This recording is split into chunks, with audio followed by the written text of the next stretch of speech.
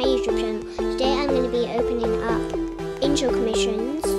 Only intro commissions. By the way, they're not GFX intro commissions. They're just normal commissions and yeah, all you have to do is comment below your theme, what color your your your text you want to be, your Roblox username, and if you have a group, comment that and um, also comment your social social medias.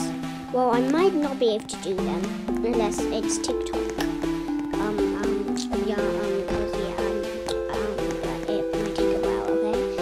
Um, but, um, yeah. Also comment what you want